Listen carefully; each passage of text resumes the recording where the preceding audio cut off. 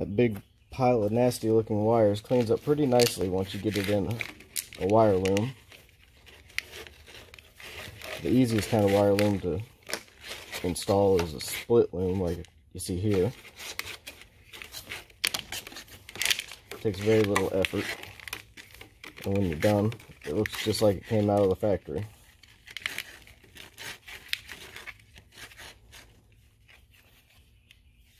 I'm going to show you guys how to depin the factory plug here in just a second. Once it's done, it'll make the wiring job look a lot more professional.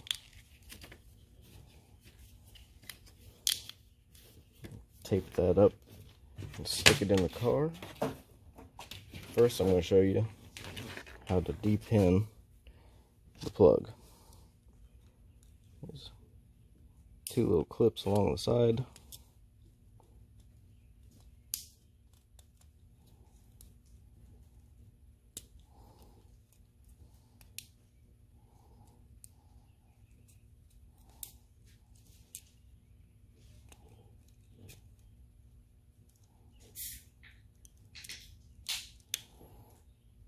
two in the middle on this one.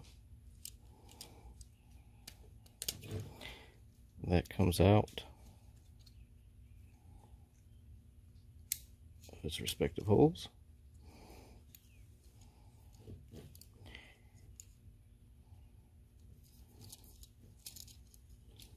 And take a pin or take a pick and stick down in and there's a little latch that he holds each one of those wires.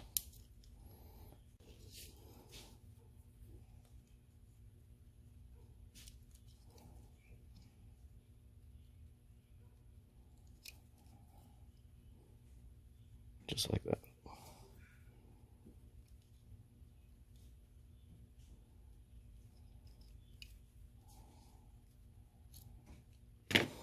Alright, and those pins will slide right into the factory harness on the DX. We'll have power windows as soon as we connect that up to the passenger side.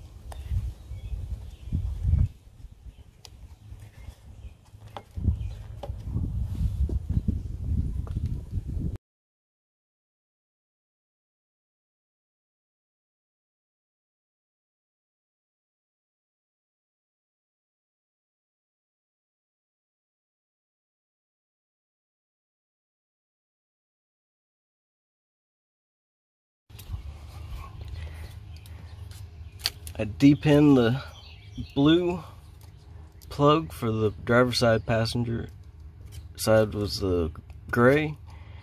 Put in the new plug harnesses for the power windows.